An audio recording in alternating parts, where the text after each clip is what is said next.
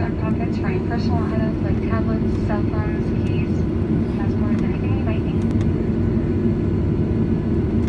On behalf of American Airlines,